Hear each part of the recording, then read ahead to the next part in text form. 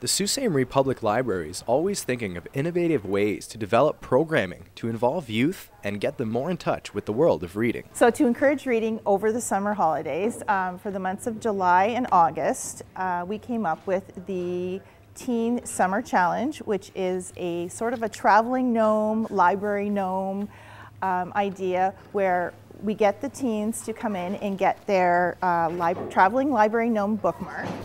Um, and wherever they go, whether they're in their backyard, basement, um, out west, Europe, wherever, take their bookmark and their Sault Ste. Marie Public Library material, whether it be a book, a movie, a PS3 game, uh, take a picture of that, send it to us here at the library, and every picture is your ballot. Um, and it goes in to win uh, a prize basket at the end of the summer. Uh, we did get sisters who went out to Halifax and they got pictures in the Halifax Public Library, uh, Bay of Fundy, and at a labor monument. Um, we've gotten pictures uh, out at the beach, um, out at Haviland Bay. Uh, so you don't have to go far to compete in this challenge. Um, you just have to have your gnome bookmark, piece of library material, and a camera.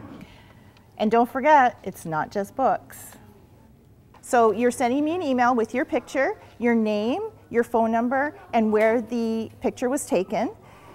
Every picture is your ballot, and you can take, send in as many pictures as you like.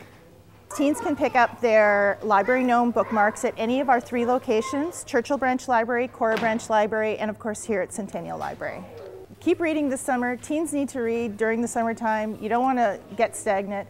Um, reading is your best form of vacation. It's also the cheapest way to have a vacation. Um, get out, get reading, come to the library, and it's free. For more information on this contest or any other programming from the Sault Ste. Marie Public Library, you can contact the Centennial location at 705 759 5230. For Go Sault Ste. Marie, I'm Christian LeMay.